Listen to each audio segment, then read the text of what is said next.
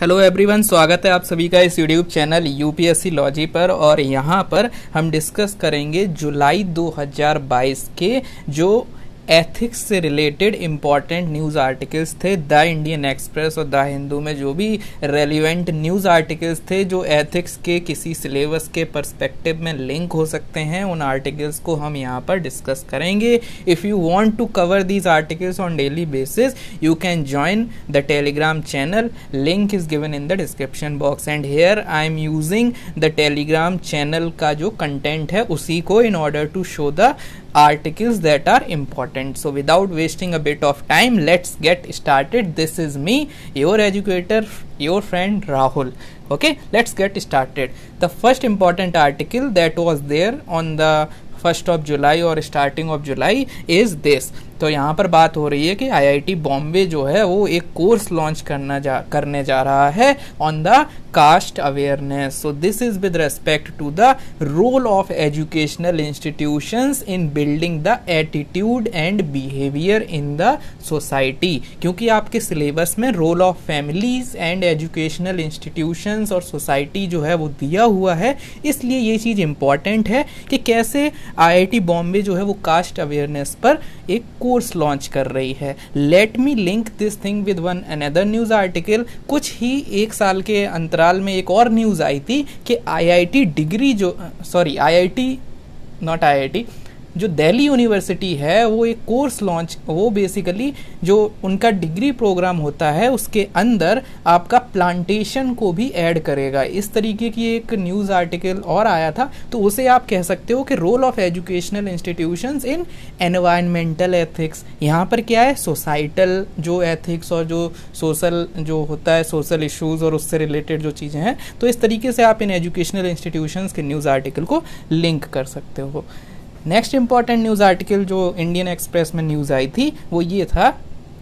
कि ये जो एक्ट्रेस हैं, जिनका नाम है दिया मिर्ज़ा। तो इन्होंने क्या किया? ये बेसिकली यूएन सेक्रेटरी जनरल की एडवोकेट हैं फॉर सस्टेनेबल डेवलपमेंट तो ये जो ये जो बॉलीवुड एक्टर हैं दिया मिर्ज़ा, ये क्या करते हैं? कभी भी ये कहीं पर किसी फ़िल्म की शूटिंग पर जाती हैं तो वहाँ पर यू कैन सी के जो भी मतलब चीज़ें हैं, जैसे फॉर एग्जांपल यहाँ पर चीज़ें दी हुई हैं, जैसे जो स्पून है फॉर्क है स्ट्रॉ है है ना? तो ये सारी, और क्लोथ नैपकिन तो ये सारी चीज़ें हैं ना? तो ये सब क्योंकि सिंगल यूज़ प्लास्टिक का इनमें कहीं ना कहीं यूज़ होता है तो ये मेटल की स्पून और जो फॉर्क ये सारी चीज़ें लेकर अपनी खुद की जाती हैं। इससे क्या होता है कि कहीं पर जैसे शूटिंग हो रही है तो ये इन्होंने वो चीज़ यूज़ करी, है ना? और फिर वो सिंगल यूज़ प्लास्टिक आपको पता है use and throw and that's why ये जो है इन्वायरमेंट में कैसे मतलब एक इन्वायरमेंटल एथिक्स में रोल ऑफ़ सेलिब्रिटी कैसे होता है तो role of celebrity in building the attitude तो जब वहाँ पर आप किसी तरह की कोई बात कर रहे हो, क्योंकि वो सिलेबस में है role of you can say different you can say जैसे रोल ऑफ़ एजुकेशनल इंस्टीट्यूशंस है फैमिली है, वैसे ही रोल ऑफ़ सेलिब्रिटी भी हो सकता है। और सेलिब्रिटीज़ के जो रोल हैं, वो कहीं ना कहीं एथिक्स में देखने को मिलते रहते हैं।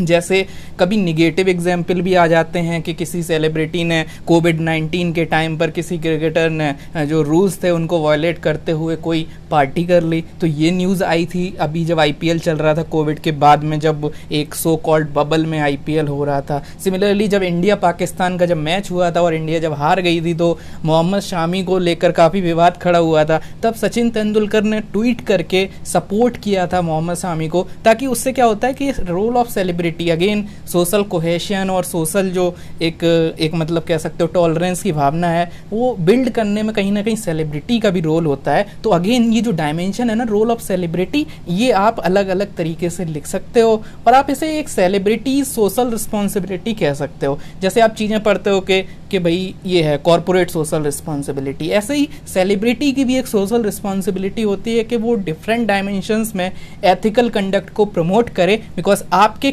आपके जो थियरी है, उसमें आपने पढ़ा है कि कैसे role modelling approach of attitude building होता है एंड डेट्स वाई जब भी कोई सेलिब्रिटी सुसाइड करती है तो वहाँ पर भी एक निगेटिव इम्पैक्ट होता है, और जब कोई सेलिब्रिटी कोई अच्छा काम करती है तो एक पॉजिटिव इम्पैक्ट होता है।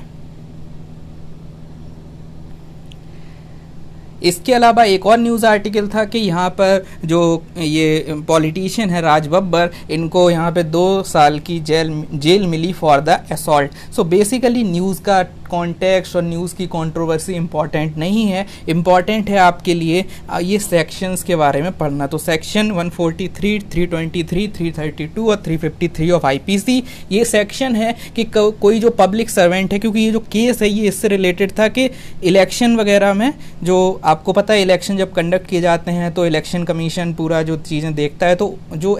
जो पोलिंग ऑफिसर है, उसके साथ असॉल्ट का एक केस था, यानी पोलिंग ऑफिसर हुआ पब्लिक सर्वेंट और पब्लिक सर्वेंट से रिलेटेड ये सारे आर्टिकल्स हैं, जहाँ पर एक पब्लिक सर्वेंट के काम में अड़ंगा लगाना या ऑब्स्ट्रक्ट करना किसी पब्लिक सर्वेंट को या उसके ऊपर हमला करना, ऐसे बहुत सारे आर्टिकल्स जो हैं या सेक्शंस जो आईपीसी के हैं, वो आपकी स्क्रीन पर दिए हुए हैं। You can simply search for these sections and you can write it somewhere क्यों ऐसा क्यों करना है? क्यों ऐसा करने की ज़रूरत ज़रूरत है, ऐसे करने की ज़रूरत इसलिए है कि जब आपके एक एथिक्स में कोई केस स्टडी आती है तो उस केस स्टडी के अंदर जब आप स्टैंडर्ड ऑपरेटिंग प्रोसीजर या कोई एक एक आपके आंसर का एक फ्लो जब मेंटेन करते हो तो अगर आपके साथ, अगर उसमें दिया हुआ है कि आप किसी जगह के सिविल सर्वेंट हैं और किसी ने बदसलूकी करी है तो you can directly quote these articles और ये सेक्शन जो हैं, वो आप लिख सकते हो, उससे एक अलग तरीके का इम्पैक्ट पड़ता है आपकी केस स्टडी के सॉल्यूशन में ओके सो इस तरीके से आप उनको कोट कर सकते हो कि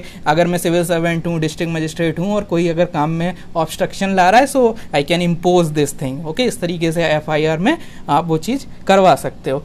अपार्ट फ्रॉम दैट एक और न्यूज़ आर्टिकल थी, जो आपको पता है, जो यूके के प्राइम मिनिस्टर हैं, उन्होंने यहाँ पर अपनी पोस्ट से रेजिग्नेशन दिया तो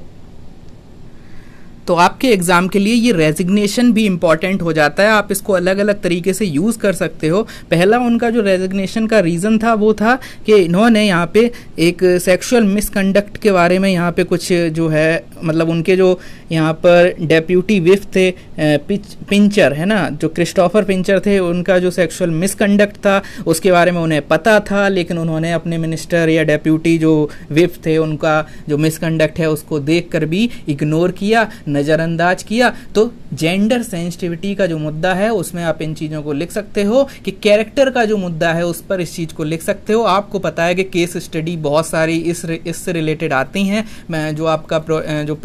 जो आपका सेक्सुअल हेरेसमेंट वाला जो एक्ट है पोश एक्ट है, उससे रिलेटेड आती रहती हैं। तो ऐसी केस स्टडी में भी यूज़ कर सकते हो। और आपको जब बहुत सारी चीज़ें पता है, महात्मा गांधी जी से लेकर अलग अलग थिंकर्स ने ये चीज़ बोली है कि कैरेक्टर एजुकेशन जो नॉर्मल आपका माइंड की एजुकेशन है, उससे ज़्यादा हार्ट की एजुकेशन इंपॉर्टेंट है। जो नॉर्मल साइंस है,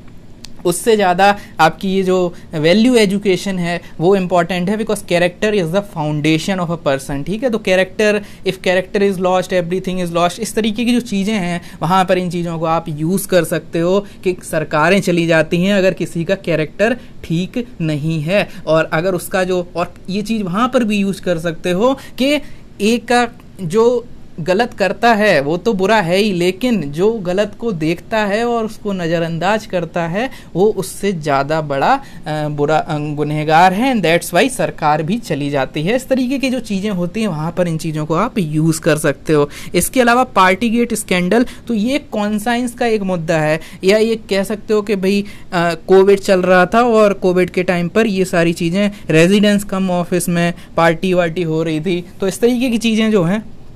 तो कोविड नाइन्टीन के जब रेस्ट्रिक्शन है तो वो वही है ना कि लॉ की जो रूल ऑफ़ लॉ होता है लॉ की सुप्रीमेसी है। अगर लॉ की सुप्रीमेसी है तो लॉ हर किसी पे बराबर होगा। जब एक आम नागरिक पार्टी नहीं कर सकता तो एक बड़ा इंसान भी पार्टी नहीं कर सकता। तो इस तरीके की चीज़ें और एक मतलब कह सकते हो कि एक स्पेसिफिक यहाँ पे जो कीवर्ड और जो चीज़ें हैं, वो कॉन्साइंस और एक रूल ऑफ़ लॉ और ये एक कन्फ्लिक्ट ऑफ़ इंटरेस्ट तो नहीं है, लेकिन एक इसी तरीके का मुद्दा आपको यहाँ देखने को मिलता है। इसके अलावा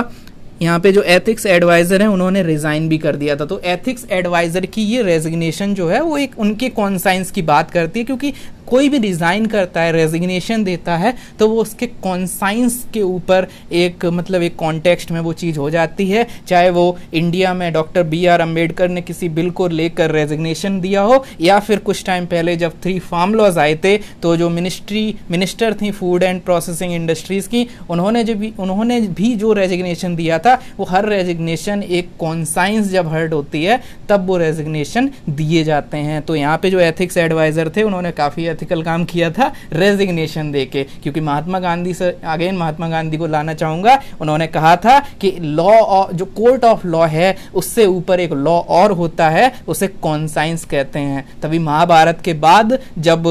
जो पांडव थे, पांडव, पांडवा जो जीत गए थे पांडव, और उसके बाद भी उन्होंने जंगल में वो जाने का यहाँ पे निर्णय लिया था क्योंकि वो जो अन, अंदर से इनर गिल्ट आ रहा था कि अपने परिवार मतलब अपने फैमिली मेंबर्स को कौरवों को जो उन्होंने उनका वध कर दिया था मार दिया था तो वो जो इनर गिल्ट है क्योंकि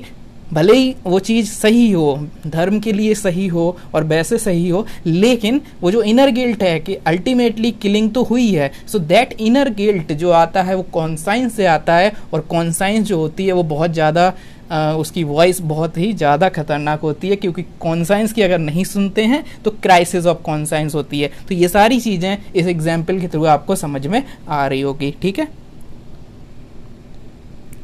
सो अपार्ट फ्रॉम दैट जो अगला आर्टिकल है, ये बेसिकली एक न्यूज़ आई थी कि बिहार के अंदर एक टीचर थे और उन्होंने अपने ट्वेंटी थ्री लैक्स जो रुपए हैं, तैंतीस लाख आया था उस टाइम पे, फिर बाद में तेईस आया, जो भी है, बहुत सारे पैसे अपने जो 2019 में उनकी जॉब लगी, उसके बाद कोविड आया और उसके बाद अभी 2022 चल रहा है तो बीच में जो उनका टाइम था, जहाँ पे उन्होंने टीच टीचिंग नहीं करी तो उन्होंने अपनी जो सैलरी थी, वो वापस करने का यहाँ पे एक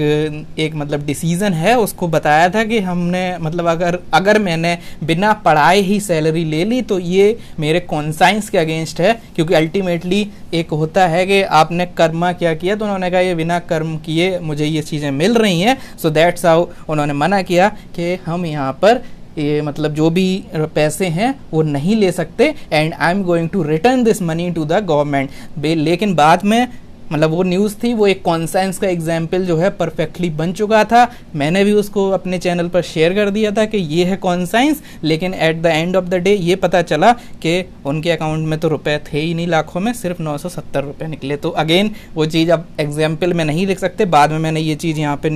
चैनल पे शेयर करके कहा था कि kindly erase this idea from your mind क्योंकि इसको अब अब आप यूज़ नहीं कर सकते। देन एनदर न्यूज़ आर्टिकल यहाँ पे क्या हुआ था कि यूट्यूबर एक थे एक यूट्यूबर हैं गौरव तनेजा जी। और उनका नाम चैनल का नाम है फ्लाइंग बीस्ट तो उस चैनल पर वो यूट्यूबर हैं काफ़ी पॉपुलर यूट्यूबर हैं। तो उनका बर्थडे था और उनकी वाइफ ने एक सरप्राइज़ अरेंज किया। एंड उस सरप्राइज़ में उन्होंने उनकी वाइफ ने मेट्रो के कुछ कोच बुक किए पार्टी के लिए। लेकिन वहाँ पर हो गई बहुत ज़्यादा भीड़ और जब वहाँ पर हो गई बहुत ज़्यादा भीड़ तो उससे फिर लग गए बहुत सारे सेक्शंस लाइक 341, 188 और 144 144 सीआरपीसी का आपको पता है कि चार लोग से ज़्यादा मतलब एक, क्योंकि मेट्रो एक ट्रांसपोर्टेशन वाली जगह है, वहाँ पर नहीं इकट्ठे हो सकते। इस तरीके की चीज़ें और इसके अलावा जो ऑर्डर जो है पब्लिक सर्वेंट का, उसको अगर डिसऑबे करते हो तो article sorry not article section 188 लग जाता है तो वो भी यहाँ लग गया और इस तरीके की चीज़ें हैं। तो यहाँ से जो टेक अवे है आपके केस स्टडी और आपके एग्ज़ाम्पल के लिए वो टेक अवे ये है कि अगेन सेलिब्रिटी है अगर कोई तो उसकी एक सोशल रिस्पॉन्सिबिलिटी है कि वो चीज़ों को एक दूरदर्शिता के साथ देखे विजन एक डेवलप करे बिकॉज़ द द रिज़ल्ट और द यू कैन से जो उसके काम करने का जो इम्पैक्ट है वो बहुत बड़ा हो सकता है और कभी कभी ऐसा भी हो सकता है। और इसके अलावा जो यूट्यूबर की वाइफ थी, उनके लिए थोड़ा सा इमोशनल इंटेलिजेंस का थोड़ा सा एक पर्सपेक्टिव देखने को मिलता है बिकॉज़ उन्होंने इमोशनल इंटेलिजेंस डेनियल गोलमैन ने जो जो बी है, उसके अंदर चार कंपोनेंट हैं। अपने बारे में अवेयरनेस रखना, अपने इमोशंस को मैनेज करना, दूसरों के बारे में अवेयरनेस रखना, उनके बारे में उनको पढ़ना, उनकी बॉडी लैंग्वेज को पढ़ना प्लस सोशल मैनेजमेंट। तो सोशल मैनेजमेंट की यहाँ पर कमी दिख गई है थोड़ी सी कि चीज़ों को उस तरीके से नहीं समझा कि कैसे मैनेज करेंगे और किस तरीके से ये मतलब सोसाइटी वर्क करती है। तो थोड़ा सा जो डिसीज़न है वो इमोशंस में आके कि पार्टी देंगे, सरप्राइज़ देंगे तो उसमें ज़्यादा हो गया। सो इस तरीके से सेलिब्रिटी की जो सोशल रिस्पॉन्सिबिलिटी है, उसमें थोड़ा सा निगेटिव एग्ज़ाम्पल वैसे तो बहुत सारे एग्ज़ाम्पल हैं आपके पास, लेकिन but yes if you want to quote you can use this example इसके अलावा Daler Mehndi sent to jail after court junks appeal. तो यहाँ पर कोई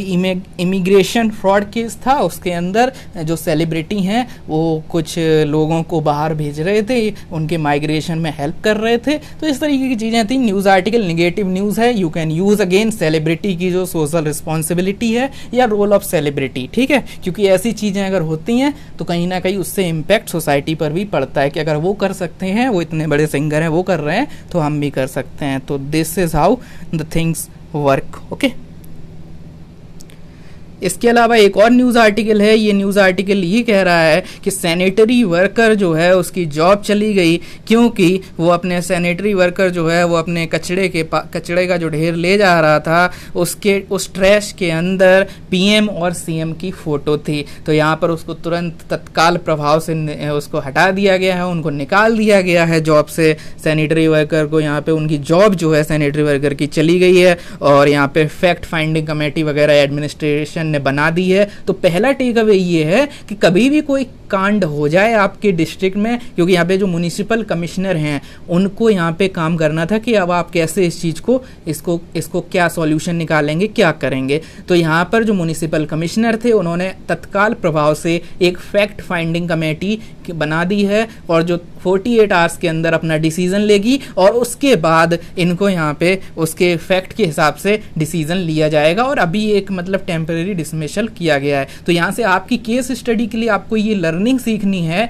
कि भैया कुछ भी कांड हो जाए आपके जुरिस्टिक्शन में, भले ही आप डीएम हो, भले ही आप म्यूनिसिपल कमिश्नर हो, ये एक पब्लिक सर्वेंट की ड्यूटी होती है कि फैक्ट्स पर काम करे प्राइवेट सेक्टर नहीं है कि तुरंत हटा के फेंक दो because that is private sector में हायरिंग और फायरिंग चलती है, लेकिन पब्लिक सेक्टर में पब्लिक एट लार्ज और पब्लिक इंटरेस्ट देखा जाता है तो जब भी कुछ ऐसा हो तो सबसे पहले एक कमेटी बनाई जाती है, एक फैक्ट फाइंडिंग कमेटी बनाई जाती है, उससे आपको एक टाइम भी मिल जाता है और फैक्ट्स भी क्लियर हो जाते हैं। कोई भी चीज़ इमोशंस में नहीं की जाती है कि अच्छा ऐसा किया, हटा दो, निकाल दो। बिकॉज़ दूसरी पार्टी का भी पक्ष जो है, वो आपको समझना पड़ेगा कि क्यों ऐसा किया। ऐसा नहीं है कि अच्छा अच्छा तुरंत अपने मन से प्रेजुडिस और स्टीरियोटाइपिंग नहीं करनी है। चीज़ों को इमोशनली नहीं डील करना है। एक न्यूट्रलिटी और एक तरीके का कह सकते हो कि समझ के चीज़ों को एक एनालिसिस के साथ रेशनल अप्रोच से काम करना है और जब फैक्ट फाइंडिंग कमेटी बनाई जाती है, उसका जो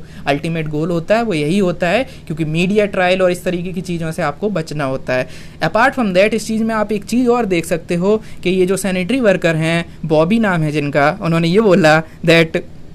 मैं तो इनोसेंट हूँ मैं इलिटरेट हूँ, मुझे नहीं पता था कि फ़ोटोग्राफ में पीएम और सीएम है। तो ये भी एक तरीके का फैक्ट है जो आप समझ सकते हो, क्योंकि गाँव में या जो लोग पढ़े लिखे कम होते हैं, या गाँव वगैरह में आप जाओ तो लोगों को पीएम पी, उनसे पूछो कि पीएम कौन है तो उनके जो उनके जो प्रधान होते हैं, उन्हीं को वो प्रधानमंत्री समझते हैं। तो इस तरीके की चीज़ें आपको देखने को मिलती हैं। इसमें कोई वो नहीं है और बहुत सारी ऐसी चीज़ें होती हैं। तो इस तरीके से है कि role of education in ethics ये आप चीज़ यहाँ से निकाल सकते हो कि रोल ऑफ़ एजुकेशन जो आप पढ़ते हो कि भाई एथिक्स बनाने में इंपॉर्टेंट है एथिक्स क्या है, उसे समझने में भी role of education important role play करती है। अगर किसी को यही नहीं पता कि ये पीएम है और ये सीएम है तो वो उस तरीके से कैसे फिर आप उससे मतलब वो कैसे उस चीज़ को समझेगा, है ना? तो समझ रहे हो कि एजुकेशन का एक रोल ये भी होता है। और इस चीज़ को आप ऐसे भी समझ सकते हो, एक यूपीएससी का एक क्वेश्चन आता है कि एटीट्यूड बिहेवियर में कन्वर्ट क्योंकि कैब मॉडल ऑफ़ एटीट्यूड होता है ना कॉग्नेटिव एटीट्यूड कॉग्नेटिव और फिर अफेक्टिव एंड देन बिहेवियरल तो कभी कभी आपका जो एटीट्यूड है, वो बिहेवियर में कन्वर्ट नहीं हो पाता। एटीट्यूड क्या है जो आपके मन में चल रहा है? बिहेवियर क्या है जो आप रियल लाइफ में उसको एटीट्यूड को कर रहे हो? ठीक है, अगर आप मन में कुछ सोचते हो, उस चीज़ को अगर आप अप्लाई कर रहे हो तो कहा जाएगा कि आपका एटीट्यूड आपके बिहेवियर में देखने को मिल रहा है। लेकिन कभी कभी आपका एटीट्यूड आपके बिहेवियर में देखने को नहीं मिलता। जैसे पीएम केयर्स फंड जब आया था तो हो सकता है आपका मन के अंदर बहुत ज़्यादा फिलेंट्रोफिस्ट वाला एक आइडिया हो, बहुत ज़्यादा एक एक मतलब कंपैशन हो लोगों के लिए। लेकिन अगर आपके पास पैसे नहीं है तो आप बेसिकली डोनेट नहीं कर सकते। सिमिलरली अगर भले ही आप बहुत सबकी रेस्पेक्ट करते हो इवन पीएम और सीएम तो बहुत बड़े लोग हो गए। अगर फॉर एग्जांपल सैनिटरी वर्कर एक बहुत ही बराबर के लोग, छोटे लोगों की भी अगर इज़्ज़त करता है, उसमें कोई वो नहीं है कि हमारी जो जो इसमें आपको एक चीज़ और समझ आ जाएगी कि हमारा जो एथिक्स या जो कैरेक्टर है, वो जज तब नहीं होता जब आप किसी बड़े के साथ सामने कैसे ट्रीट करते हो, उसे कैसे ट्रीट करते हो, क्योंकि बड़े को आप, बड़े की तरह सम्मान दोगे ही। लेकिन उस छोटे के छो, अपने से छोटे लोगों को कैसे ट्रीट करते हो आपका कैरेक्टर उस समय पर सही से जज होता है। तो यहाँ पर मैं ये कह रहा था कि सैनिटरी वर्कर इवन दो हो सकता है कि वो बहुत ज़्यादा रेस्पेक्ट करता हो हर किसी की इवन पीएम सीएम छोड़ो अपने जो उसके घर पे भी सैनिटरी वर्कर के घर पे भी जो लोग काम करने आ जाते हो कभी ऐसा कुछ होता हो उनकी भी बहुत इज़्ज़त करता है। लेकिन अगर उसे पता ही नहीं था एजुकेशन ही नहीं है लिटरेसी है पता ही नहीं है ये पीएम है या सीएम है तो वो एथिक्स का कैसे शो करेगा? वो उस एटीट्यूड को बिहेवियर में शो नहीं कर पाएगा। तो एटीट्यूड को बिहेवियर में कन्वर्ट होने के बीच में भी एजुकेशन आती है और एथिक्स के जो एथिकल जो आपके डिसीजंस हैं, उसमें भी एजुकेशन आती है। Not only moral education but limited reading writing वाली एजुकेशन या लोगों, जो जनरल अवेयरनेस है, वो वाली एजुकेशन भी आपके एथिक्स में इंपॉर्टेंट रोल प्ले करती है। ऐसा नहीं होता कि मोरल एजुकेशन या मोरल वैल्यू वाली वैल्यू एजुकेशन होगी, तभी आप एथिकल कंडक्ट शो कर पाओगे। नॉर्मल अगर आपको यही नहीं पता कि कौन पीएम है और कौन सीएम है तो आप उस तरीके से ऐसा कांड हो जाएगा। समझ रहे हो? तो यहाँ पे कभी क्वेश्चन ऐसा आ जाए कि सिर्फ़ ऐसा होता है कि भाई हम वैल्यू एजुकेशन के बाद ही एथिकल कंडक्ट आएगा तो आंसर है नहीं। नॉर्मल एजुकेशन जो होती है कि नाम पढ़ना फ़ोटो से लोगों को पहचानना, हमारे देश का पीएम कौन है सीएम कौन है, इन चीज़ों को हमारे स्टेट का सीएम कौन है, इन चीज़ों को जानना जनरल अवेयरनेस भी कहीं ना कहीं एथिक्स में रोल प्ले करती है। ठीक है? I hope you are getting. So इस तरीके से डिफरेंट डायमेंशन में चीज़ें देख सकते हो। इसके अलावा एक कोट है, आपने अगर सुना होगा तो अच्छी बात है। कोट ये है कि जो जो ज़िंदगी होती है वो काफ़ी खुशनुमा होती है और प्लेजरफुल प्लेज प्लेजरेबल होती है। लाइफ और डेथ होती है, वो पीसफुल होती है। बस जो ट्रांजिशन है, वो सबसे ज़्यादा परेशान करने वाला होता है। तो यहाँ पे कहा जाता है कि डेथ जो होती है वो काफ़ी पीसफुल होती है, लेकिन यहाँ पर अंगोला के एक्स प्रेसिडेंट की एक न्यूज़ आई कि उनकी डेथ हो गई, लेकिन उनकी जो वाइफ थी मतलब वाइफ जो हैं अभी, और मतलब उनकी जो अभी विडो हैं विडो वाइफ और उसके अलावा जो उनके बच्चे हैं, वो स्पेन में हैं वाइफ अंगोला में हैं, और वाइफ चाह रही हैं कि जो डेड बॉडी है वो अंगोला में आए, क्योंकि वहाँ पर वो पॉलिटिक्स वगैरह चल रही है, लेकिन जो बच्चे हैं वो चाहते हैं जो डेड बॉडी है, वो उनका जो बरियल और जो चीज़ें होती हैं, जो अंतिम जो भी चीज़ें होती हैं, वो स्पेन में हो, क्योंकि वो लोग अंगोला में नहीं आ सकते बिकॉज़ ऑफ़ डिफरेंट रीजंस तो वही है कि डेड बॉडी पर भी पॉलिटिक्स हो रही है। डेड बॉडी पर भी एक पीस जो होता है ना कि डेथ में पीस होता है, लेकिन वो डेड बॉडी को वो पीस देखने को नहीं मिल रहा। तो इस तरीके की चीज़ें आप कहीं पर एथिक्स में किसी एग्ज़ाम्पल में कहीं पर यूज़ कर सकते हैं। तो ये थे दो हफ्तों के अंदर जो भी एथिक्स से रिलेटेड इंपॉर्टेंट करंट अफेयर्स जो न्यूज़ में थे, वो सारी चीज़ें मैंने यहाँ पर डिस्कस की हैं। अगर आपको ये वीडियो पसंद आई तो इस तरीके से मैं दो हफ़्ते, एक हफ़्ता, तीन हफ़्ता इस तरीके से I will try to continue it और अगर वीडियो नहीं भी आएगा तो जो चैनल है यूपीएससी लॉजी का टेलीग्राम पर, वहाँ पर मैं डेली बेसिस पे ये आर्टिकल्स अपडेट करता हूँ। ये उन्हीं आर्टिकल्स का एक कंपाइलेशन था। तो अगर आपको डेली बेसिस पर वो चीज़ें देखनी है you can join the Telegram and if you like this don't forget to press the like button and don't forget to subscribe to this youtube channel upsc logy study of upsc thank you so much